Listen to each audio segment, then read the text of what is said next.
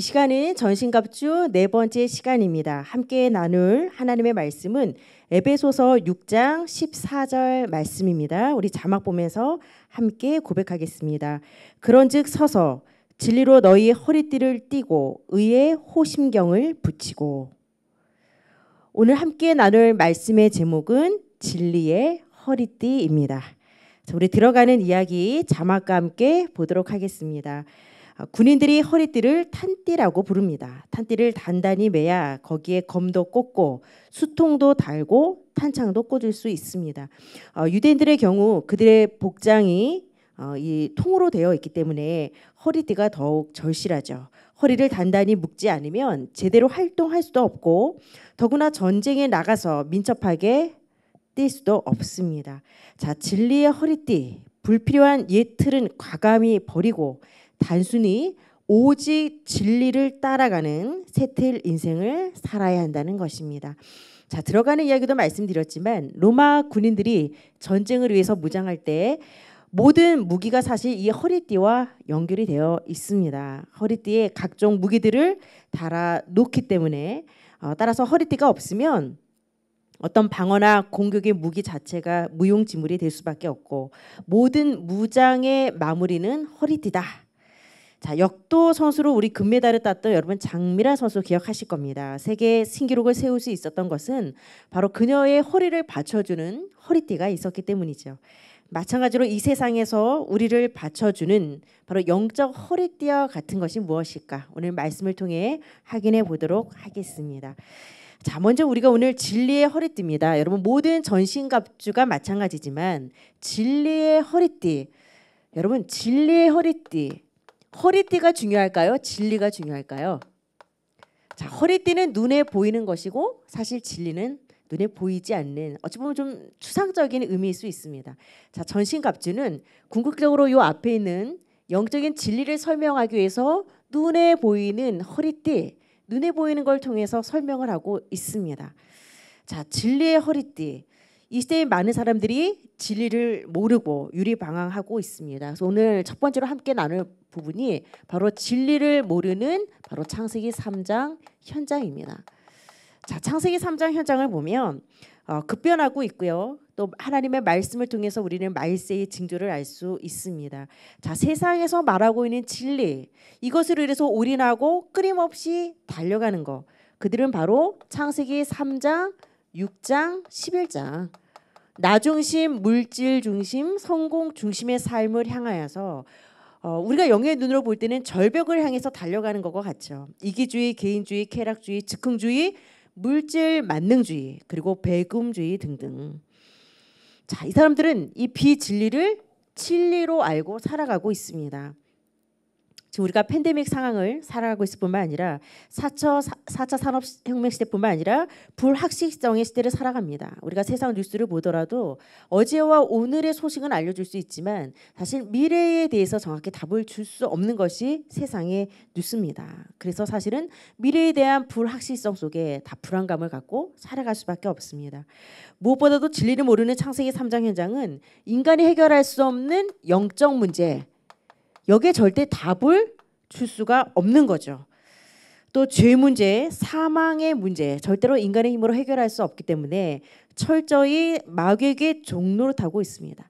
마귀, 마귀 자체가요 원래부터 거짓말하는 자입니다. 그 안에 진리가 없기 때문에 비진리를 진리인 것처럼 속일 수밖에 없는 거죠. 자, 그뿐만 아니라 결국은 죽음과 지옥과 심판의 길을 갈 수밖에 없게끔 아, 우리를 멸망의 길로 이끌고 있는 것입니다. 자, 그렇다면 진리를 모르게 만드는 사탄의 전략에 대해서 좀 알아보도록 하겠습니다. 자, 구체적으로 진리를 알지 못하도록 사탄이 어떻게 방해를 하고 있는가? 자, 일단 사단은요, 여러분 종교 전략을 쓰고 있습니다. 종교 전략. 자, 같은 기독교, 같은 기독교 아닙니다, 여러분. 종교 다원주의 그리고 종교 통합과 변질을 통해서 다른 것과 틀린 것. 사단의 무서운 전략은요. 인간의 상식도 좋고 경험도 좋다라는 겁니다. 또 거짓말을 진리처럼 믿게 만들어서 우리의 삶이 사실은 불행한 이유는 어떤 환경적인 이유가 아니라 사실은 내가 여태까지 진리라고 생각했던 부분이 영적으로 볼 때는 사실은 다 거짓말이라는 거죠. 사탄은 본질적으로 속이는 자고 처음부터 거짓말하는 자. 그래서 성경은 요한복음 8장 44절에 거짓의 압이라고 말하고 있습니다. 사단은요 완전한 거짓말로 우리를 속이지 않습니다. 진리와 거짓을 척절히 섞어버리는 거죠. 예를 들어서 여러분 99%가 맞는데 1%만 가짜를 섞어요. 거짓말입니다. 한 예로 깨끗한 물에 독을 얼마나 타요, 여러분 독약입니까? 아무리 99%의 깨끗한 물이라 하더라도 1%의 독이 들어갔으면 여러분 그거는 독극물입니다. 먹으면 안 되는 거죠. 우리가 새빨간 거짓말은 좀 분별할 수 있지만 99%의 진리에 1%를 섞은 비진리는 사실 분별하지 못하거든요. 바로 사단은 끊임없이 이렇게 우리를 혼미케 해서 참된 진리를 깨닫지 못하도록 방해하고 있습니다. 그뿐만 아니라 어, 이 교회 전략을 쓰는데요. 교회도 사실 같은 교회가 아닌 거죠. 교회를 공격하고 있습니다. 교회를 불태워 버리거나 신자들을 핍박하는 것도 사단의 또 여러 가지 전략 중에 하나겠지만 궁극적인 사단의 전략은 진리만 깨닫지 못하도록 방해를 하는 겁니다. 오늘날 문 닫는 세계 교회를 보더라도 솔직히 여러분 어, 교회가 정말 참된 진리를 말하지 않는데 부흥된다 라고 말한다면 그 교회는 빨리 문 닫는 게 낫고요. 오히려 비진리를 말하는데 그 교회가 부흥한다. 사람의 눈으로 볼 때는 잘 되는 것 같지만 비진리를 선포하는데 그 교회가 잘 되고 부흥한다면 그건 저주거든요. 차라리 교회가 문을 닫는 것이 더 나을 수도 있을 겁니다. 오늘날 안타깝게도 사단은요 끊임없이 어, 거짓 진리, 거짓 선지자들, 적그리스도들이 교회 안으로 침투를 해서 바로 이 복음을 희석시키고 있습니다. 오늘날도 뭐 말할 거 없죠. 이단 사이비들이 교회로 침투를 합니다. 부신자들을 건드리는 것이 아니라 교회 다니는 사람들 건드리거든요. 자, 여러분 오늘 진리의 허리띠 여러분들이 허리를 오늘 좀 생각을 해 보시기 바랍니다. 우리 몸의 중심입니다. 우리가 서고 일어나는 모든 힘의 근원이 허리로부터 출발을 하고 있습니다. 창세기 35장 11절에도 보면 하나님께서 야곱에게 말씀하시기를 왕들이 내 허리에서 나오리라라고 말씀하셨습니다. 바로 허리로 표현되는 것이 바로 생명의 근원을 말하고 있거든요. 그렇다면 우리가 진리의 허리띠 바로 우리 신앙에 있어서 가장 중심과 근본과 기초가 바로 이 진리 위에 바로 서야 한다는 겁니다. 우리가 허리를 다치면 눕는 것도 서는 것도 앉는 것 모든 것들이 괴로움이 될 수밖에 없는 것처럼 우리 중심에 진리의 허리띠로 무장되어 있지 않다면 어, 우리 신앙은 물론이고요. 우리 삶 자체는 고통 가운데 빠질 수밖에 없을 겁니다. 자, 오늘날 교회를 공격할 뿐만 아니라 많은 기독 신자들을 사단은 건드리고 있습니다. 자, 어떻게 기독 신자들을 건드리고 있냐? 참된 진리를 모르도록 영적으로 무지하게 만들고 무능하게 만들고 예수를 믿으면서도 늘 갈등하고 방황하게 만드는 겁니다. 그래서 복음보다 사실은요, 이 불신앙이 더 커 보이는 겁니다. 복음보다 더 커 보이는 불신앙의 프레임을 딱 씌워서 문제 사건이 왔을 때 그 문제를 해결할 수 있는 하나님의 능력을 바라보기보다 오히려 내 문제가 누구의 문제보다도 더 큰 문제로 하나님도 해결할 수 없는 문제인 것처럼 우리를 속이고 있습니다. 왜? 진리 대신 예수 그리스도를 바라보지 못할 때 싱글 포커스가 되지 못하면 사단은 끊임없이 우리를 여러 가지 문제 속에 혼미케 만들고 흔들어 버리는 겁니다. 자 사자굴에 여러분 그 사자를 조련하는 조련사는요 의자 다리가 네 개 달린 의자를 들고 들어간다 그러지 않습니까? 사자가 바로 그 다리가 네 개는 의자를 바라보면 초점을 잃어버린대요. 그래서 사자의 그 사나운 기질이 좀 온순해진다 그러더라고요. 저는 그 예화를 들으면서 느껴지는 게 사단의 끊임없이 우리가 오직 그리스도 진리 대신 그리스도께 싱글 포커스 다 단일 초점으로 맞추지 못하도록 여러 가지 문제를 통해서 어, 오직 그리스도 되지 못하도록 속입니다. 그러면서 영적인 힘을 잃어버리도록 속이는 것이 바로 사단의 전략입니다. 자 그렇다면 여러분 오늘 좀 중요한 부분이 뭐면 그러면 진리의 실체가 누구냐? 바로 진리의 실체는 예수 그리스도라는 것입니다.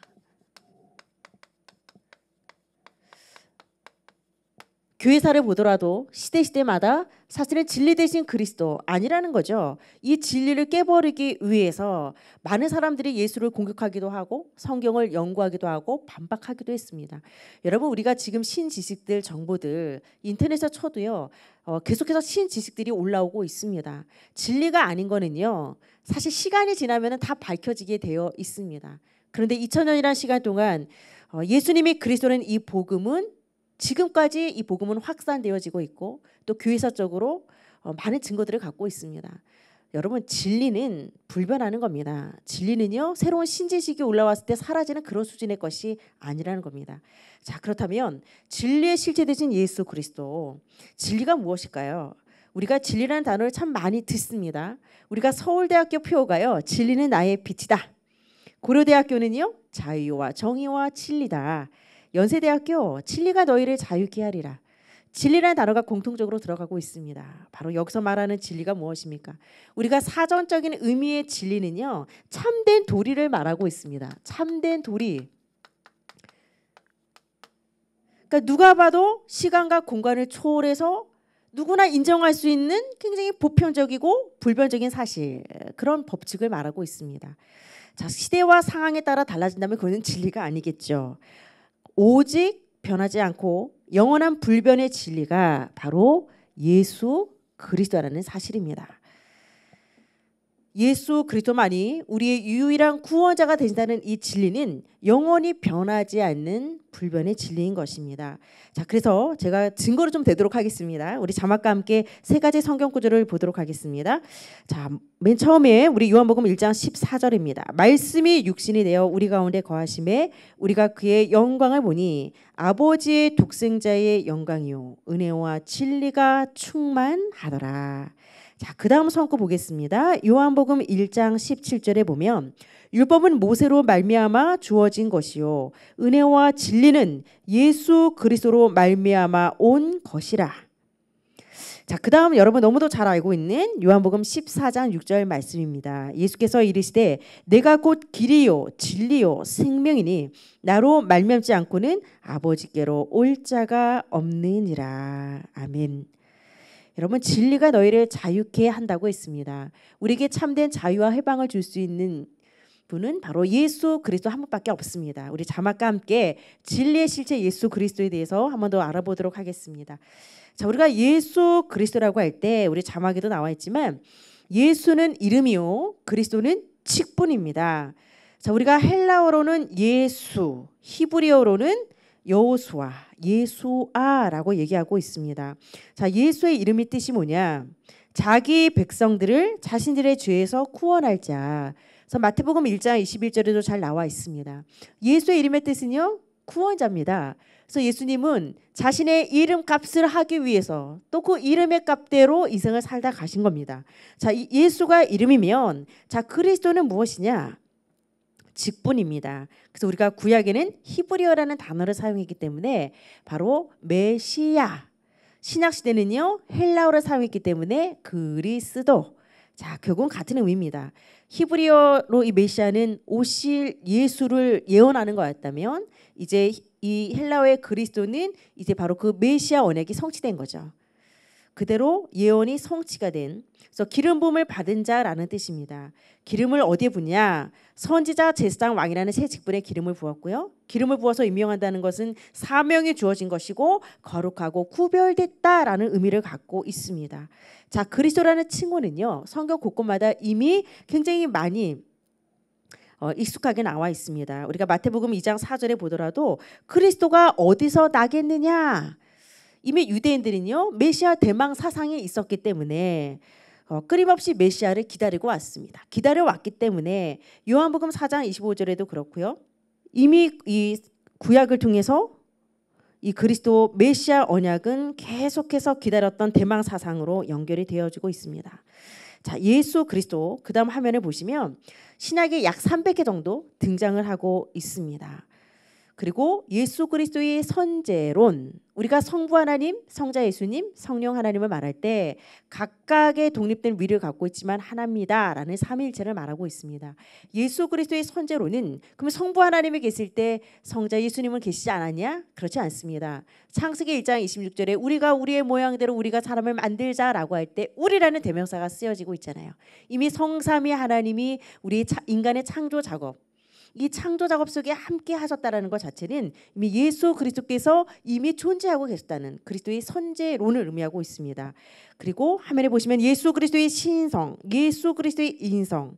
신성은요 완전한 하나님이셨고 또 완전한 인간임을 인성으로 말하고 있습니다.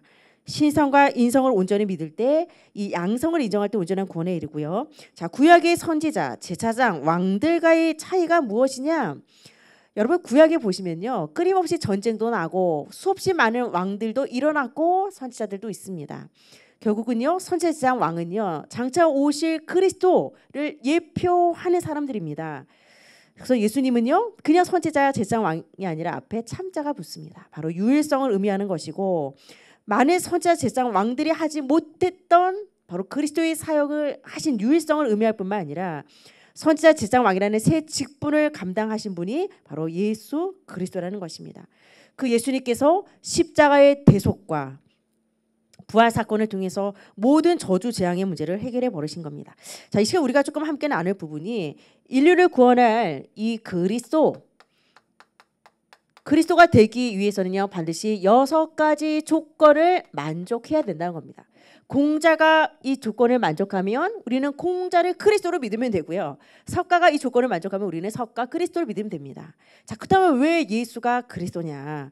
자, 구원자가 되기 위한 조건은요. 첫 번째로요. 원죄가 없어야 됩니다. 원죄. 원죄는 제가 어, 눈을 계속 말씀을 드렸지만 누구나 태어날 때 갖고 태어나는 죄입니다. 내가 지은 죄는 아닌데 나도 모르게 갖고 태어나는 죄죠. 자, 이 원죄의 문제는요. 모든 인간이 다 갖고 태어나게 되어 있습니다. 창세기 3장 15절에 여자의 후손이라는 표현이 나옵니다. 자, 원죄를 갖고 있는 인간은요. 여자의 후손입니까? 남자의 후손입니까? 우리는요. 원죄를 갖고 있는 남자의 후손입니다. 그래서요 모든 인간은요 원죄로부터 자유로울 수가 없는 겁니다. 모든 사람이 죄를 범하였음에 근데 예수님만이 성령으로 잉태됐다는 거 보면 원죄가 없는 상태를 말하고 있습니다. 자 마태복음 1장 20절에 보면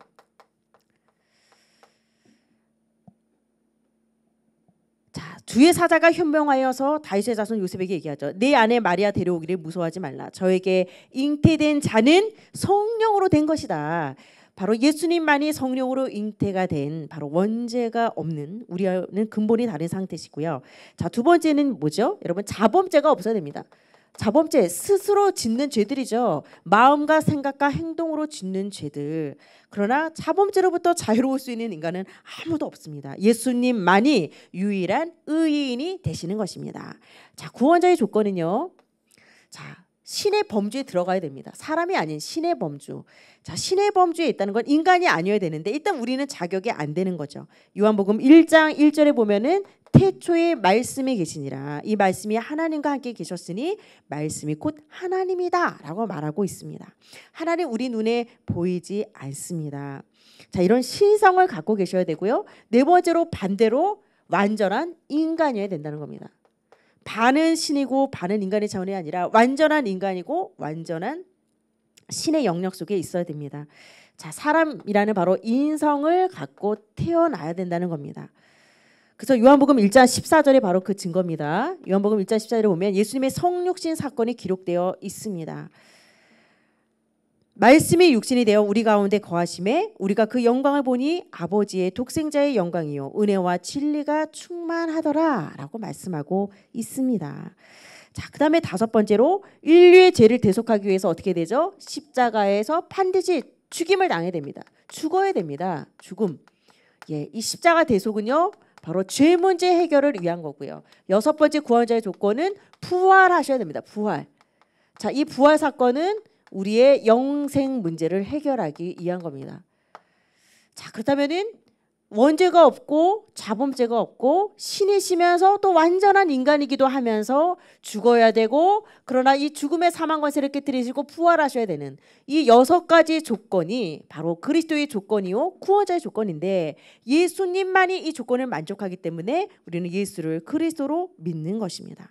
예수님이 부활하셨다는 것은 바로 마귀 관세, 죽음 관세, 죽음과 지옥의 문제를 완벽하게 해결하셨다는 것을 의미하고 있습니다. 그래서 여러분들이 오늘 기억하시기 바랍니다. 예수 승리가 내 승리입니다. 예수 권세가 내 권세로 주어진 거기 때문에 바로 예수님이 이 그리스도의 조건을 만족하심으로 우리를 아담의 족보에서 이제는 그리스도의 족보 속으로 완전히 옮겨 주신 겁니다. 자, 그런 의미에서 우리 좀 자막을 좀 보도록 하겠습니다. 자, 다 이루었다. 테텔레스타이 우리가 헬라어로 자, 요한복음 19장 30절에 나오고 있습니다. 예수께서 신 포도주를 받으신 후에 이르시되 다 이루었다 하시고 머리를 숙이니 영혼이 떠나 가시니라.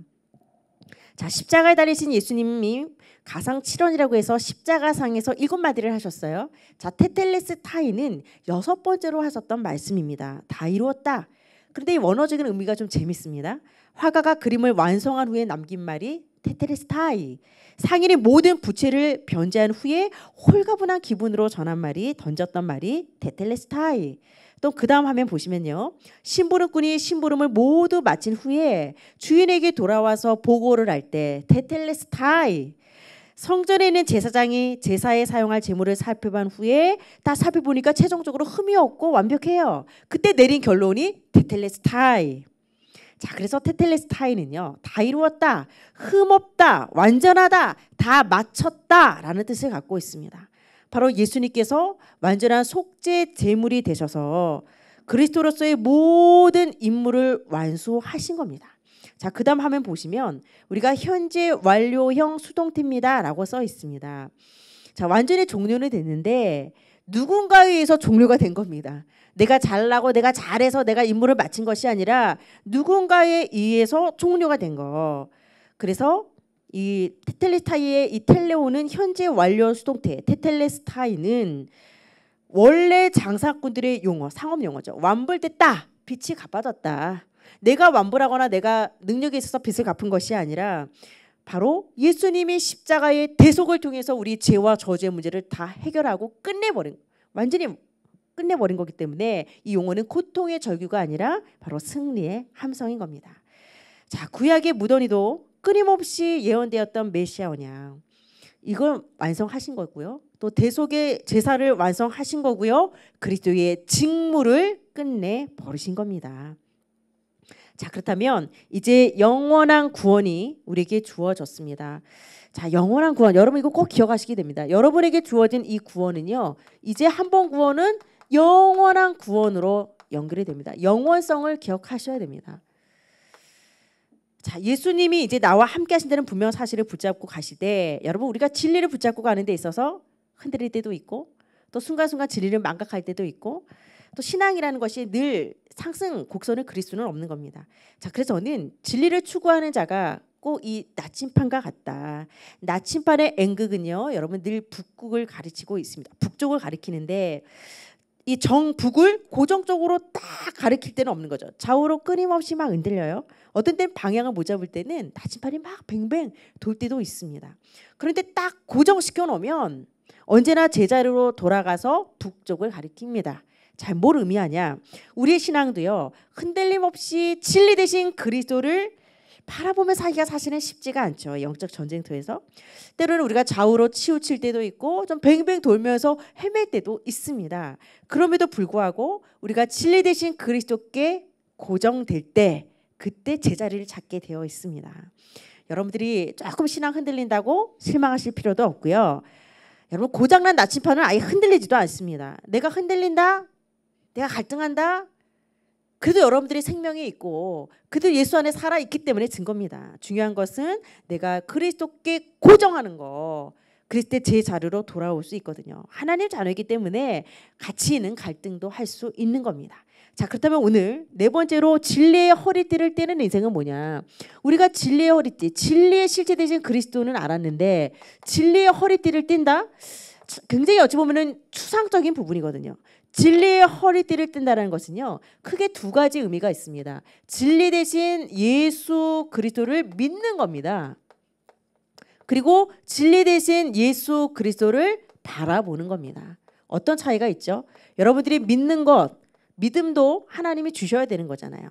일단 우리가 진리 허리띠를 띠려면 진리 대신 예수님이 어떤 분인지 정확히 우리는 올바른 복음을 알고 있어야 됩니다. 자, 그렇다면 올바른 그리스도를 안다면 그로만 끝나는 것이 아니죠. 영접하고 구원받는 거로만 끝나는 것이 아니라 이제 바라보는 행위는 실제로 이 복음을 내 삶에 적용하는 겁니다. 여러분 허리띠를 차지 않으면 고무줄 바지 아닌 이상 바지 흘러내리고 창피당하잖아요. 우리 신앙도 마찬가지입니다. 진리 대신 그리스도로 무장하지 않고 허리띠 차지 않으면 세상에서 불신자들요 여러분 웃음거리 되어집니다. 오히려 여러분 기독교가 개독교가 돼버리고 목사가 묵사가 되고 평신도가 병신도라는 시대가 되지 않았습니까? 자, 그래서 우리가 베드로전서 1장 13절 굉장히 중요한 성경 구절입니다. 자, 우리 자막과 함께 보도록 하겠습니다. 그러므로 너희 마음의 허리를 동이고 근신하여 예수 그리스도께서 나타나실 때에 너희에게 가져다 주실 은혜를 온전히 바랄지어다. 마음의 허리를 동이고 영적인 집중을 말하고 있습니다. 영적 자세를 말하고 있습니다. 여러분들이 날마다 진리 대신 그리스도 그 그리스도 안에 있는 넓이 높이 길이 깊이를 묵상하시면서 날마다 복음으로 각인 뿌리 체질화 되시기를 바랍니다. 자 그렇다면요 여러분 진리 중심으로 모든 것들을 여러분들이 제하시면 돼요. 진리 중심으로 여러분들이 뭔가 할 때 잘하려고 하지 마시고요. 잘하려고 하지 말고 안 되는 것부터 안 해보세요. 어, 나쁜 습관부터 한번 고쳐 나가다 보면 결국은 좋은 습관으로 기경이 되잖아요. 처음부터 내가 막 좋은 거를 잘하려고 하지 마시고 안 되는 부분부터 내가 그거부터 안 하려고 해보세요. 마찬가지입니다. 우리가 진리에 합당치 않은 부분들을 하나하나 제거해 나가는 도전이 필요합니다. 왜? 우리 체질 속에 너무도 비진리적인 요소들이 많이 있거든요. 예를 들면 여러분 로마 제국의 흥망성쇠는 굉장히 우리 세계사에서 굉장히 흥미롭게 다뤄집니다.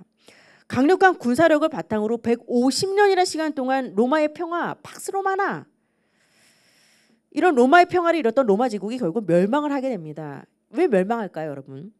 오랫동안 평화 속에 있다 보니까 로마인들도 로마 군인들도 다 나태해진 거예요.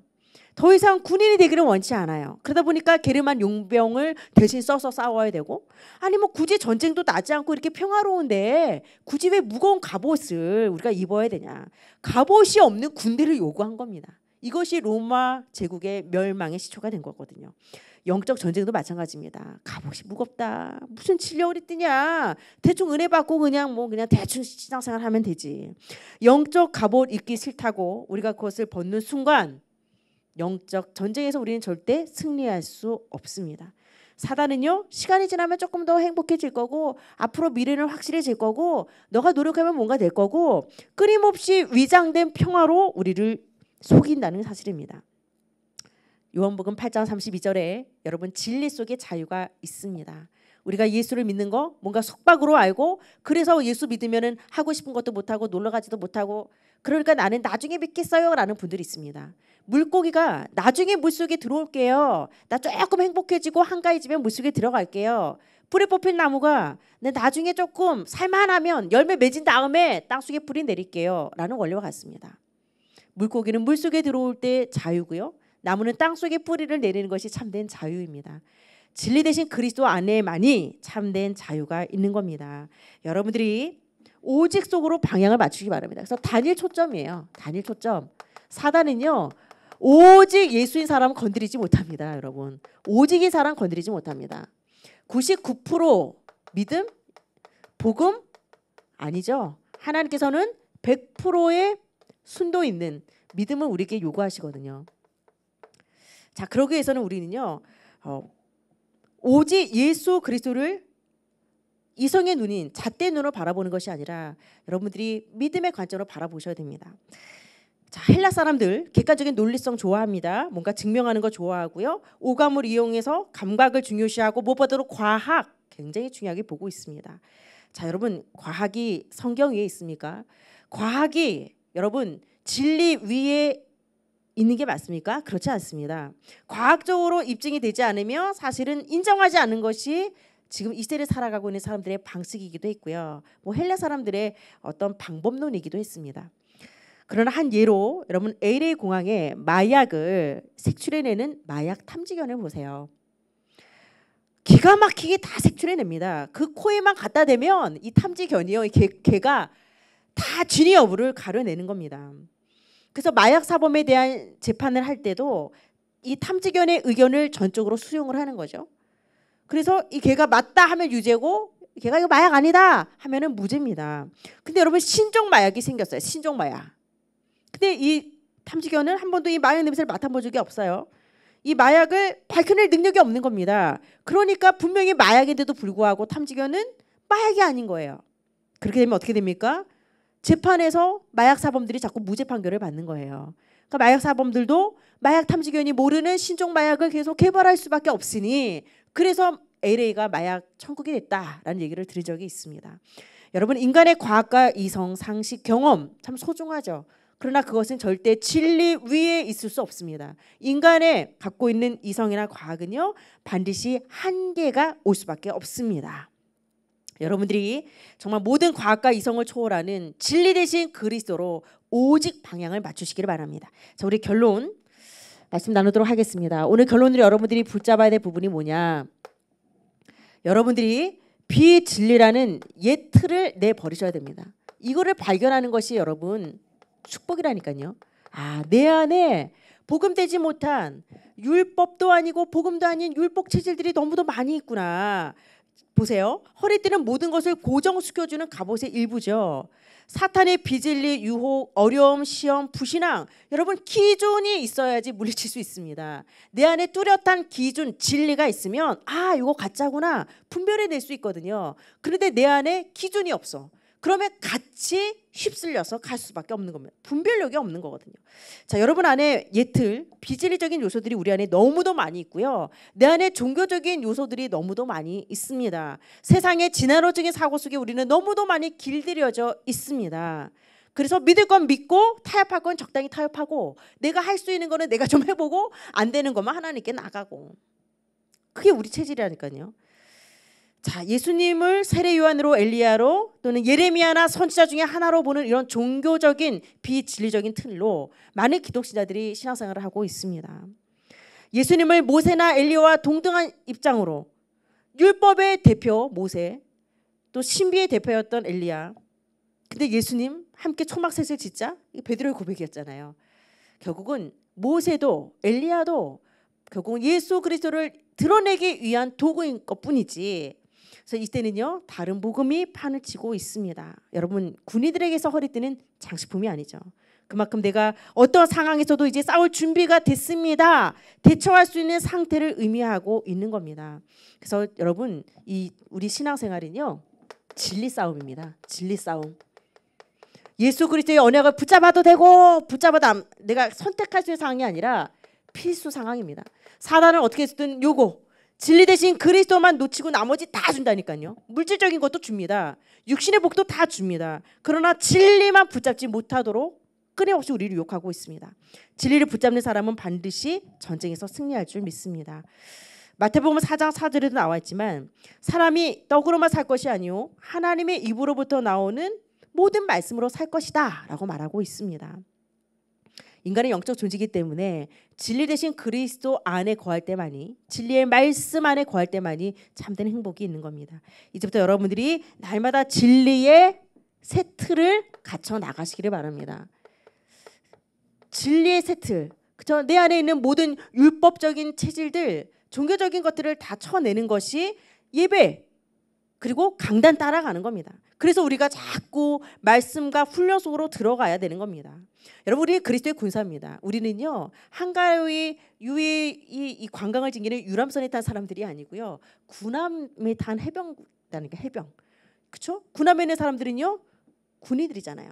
자기 역할의 포지션들이 있습니다. 근데 유람선은요 몇 명 일하는 사람들은 있지만 노는 사람들이거든요. 그리스도의 군사는 바로 군함에 탄 그래서 각자의 역할들과 포지션이 있습니다. 여러분들이 오늘 진리의 허리띠를 장착하시고 그리스도의 중심으로 늘 강단 예배 중심의 삶을 살아가시기를 바랍니다. 그래서 우리 자막과 함께 묵상하게 보도록 하겠습니다. 신앙생활의 성공과 실패의 기준이 무엇이냐? 내가 얼마나 예수 그리스도께 집중하는가에 달려 있습니다. 오직에 안 되는 나의 연약함과 불신앙적인 요소들이 있죠. 자, 시편 42편 1절에서 5절 말씀에 보시면 주를 찾기에 갈급합니다. 하나님을 갈망합니다. 어느 때에 하나님을 배울까? 바로 이 말씀 속에 말씀을 사모하는 그 중심이 담겨 있습니다. 여러분 우리는 구원은 거저 받았지만 우리가 이 말씀을 누리고 응답을 받는 모든 부분들, 영적 싸움에 승리하는 모든 부분들은 여러분들이 욕심내셔야 되고 영적으로 무장이 되셔야 됩니다. 그래서 우리는 말씀 속으로 예배 속으로 자꾸 들어가야 되는 겁니다.